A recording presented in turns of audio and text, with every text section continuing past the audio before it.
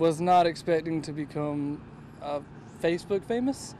But with about 2,000 shares of this video taken by Christina Cook, that's exactly what happened. Pruitt was on patrol at the Colleton County Rice Festival when this song came on, and he says he just couldn't help it. Walking through the crowd, make sure everyone was behaving the way they were supposed to do, then the music dropped, and I couldn't help myself. The ice cream was good, the, the people were enjoying it, I was enjoying it, and I just wanted to dance. Pruitt says it's nice for an officer to be recognized for something good. Especially nowadays with all the negative stuff that you see in, on media with law enforcement, I like to be the one person who puts a positive vibe out there for police officers. If, if by me dancing can do that, I'm, I'm happy with it. He did know he was being recorded, but that didn't stop him.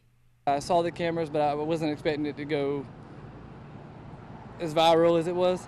I just kind of, again, just wanted to show the people that you know officers aren't bad people and that we can, we're down to earth people that just like to dance with people. As far as how he's handling the life of a viral star, it's fun.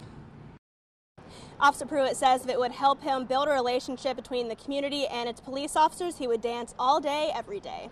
Reporting in Walterboro, Natalie Price, Count on Two.